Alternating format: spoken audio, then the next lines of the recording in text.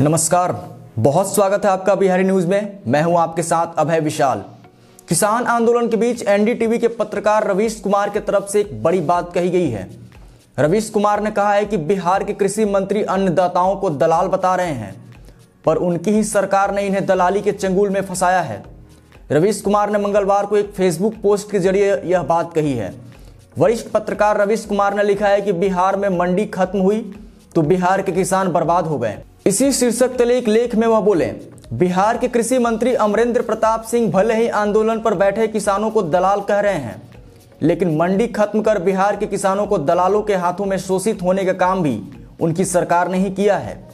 रवीश कुमार ने यह भी लिखा है कि किसानों के खाते में हर साल छह हज़ार रुपए भेजकर वोट लेने का दम इतना बढ़ गया है कि मंत्री को आंदोलन करने वाले किसान दलाल नज़र आते हैं। प्राइवेट कंपनियों के प्रति इतनी निष्ठा हो गई है कि जिस किसान का जुबानी जयकार करते थे, उसी को दलाल कह रहे हैं, गाली दे रहे हैं। यह भी ठीक है कि गाली सुनकर भी बिहार के किसान बीजेपी को ही वोट देते हैं और आगे भी देंगे। लेकिन यह भी सही है कि बिहार के किसान कंगाल हो गए हैं। रवीश कुमार के इस पोस्ट के बाद लोगों ने भी जमकर कमेंट किए। हालाँकि पत्रकार के इस पोस्ट पे कई लोगों ने पक्ष में तो कई लोगों ने विपक्ष में कमेंट किए हैं। सरोज सिंह नाम के एक यूज़र ने लिखा है, पूरा देश रसातल में जा चुका है। किसान, मजदूर, बेरोजगार सब परेशान हैं। पर अफसोस है कि भक्त आपको गाली देने में अपनी शान समझ रहे हैं। वहीं रमेश सिंह नाम के एक यूज़र ने लिखा है, मेरे तो समझ में नहीं आ रहा कि सरकार से ही या फिर छोटी छोटी राजनीतिक पार्टियाँ मोदी किसान के साथ छल कपट नहीं कर सकते हैं, क्योंकि काट की हांडी एक बार चढ़ती है बार बार नहीं। अगर गलत करता है तो चार साल बाद कहा जाएगा। इसलिए जल्दी में कोई फैसला नहीं लेना चाहिए। रवीश कुमार के इस पोस्ट पर राजीव कुमार पांडे नाम के एक यूज़र ने लिखा है कि बिहार में मंडी लालू राज से ही खत्म हो रही है। मोदी भी किसानों को ज़्यादा फ़ायदा नहीं दे रहे हैं, क्योंकि कालाबाजारी और रखरखाव पर कुछ ठोस काम अभी तक नहीं कर पाए।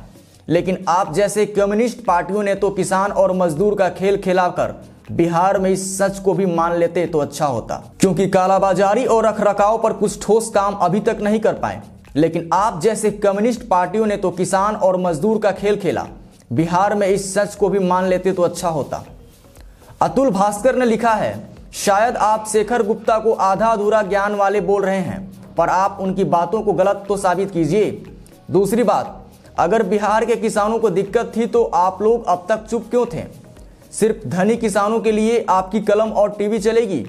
जिन गरीब बिहार के किसानों के पास आवाज़ नहीं है उनके लिए आप लोग आज तक क्यों नहीं बोले? आपको बता दें कि रवीश कुमार हमेशा से ही सोशल मीडिया पर अपनी बातों को शेयर करते रहते हैं। इस दौरान वो सरकार की कड़ी आलोचना करने से भी नहीं चूकते। अभी हाल ही में बिहार के कृषि मंत्री को लेकर उन्होंने जो बात लिखी है, उस पर भी लोगों के रिएक्शन सामने आ रहे हैं।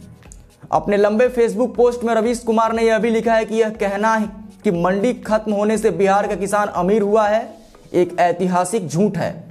मंडी खत्म होने से उन व्यापारियों के हाथ में लुट रहा है, जो सस्ते अनाज खरीदकर बड़े व्यापारियों को देते हैं। तो आज के लिए बस इतना ही। बिहार की हर छोटी बड़ी खबरों से रूबरू रहने के लिए देखते रहिए बिहारी न्यूज़। धन्यवाद।